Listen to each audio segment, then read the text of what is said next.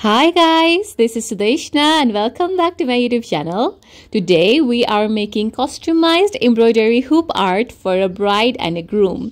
मेरो अफिसको श्रद्धा दिदी र बिकी दाईको बिहे हुँदैछ and we really wanted to gift something special on there special day and I thought why not gifting them something beautiful and unique art handmade with love so we made this beautiful art piece by the way, this is my first time doing wedding inspired artwork and I'm really happy with the result. कस्तो लाग्यो तपाईँलाई please comment down and are you excited for bride and ग्रुमको reaction Congratulations!